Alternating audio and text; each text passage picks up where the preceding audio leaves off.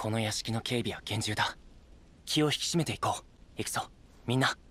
はかりを迎えに。こうなったら直接迎えに行くしか。あった。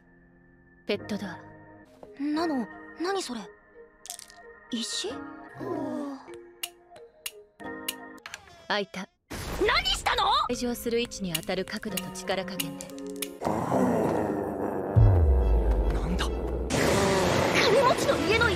危うくしっこ漏らしてクマさんにハニーハントされるところだったの。静香ちゃんは？オイラなんか食っても美味しくないでやんすよ。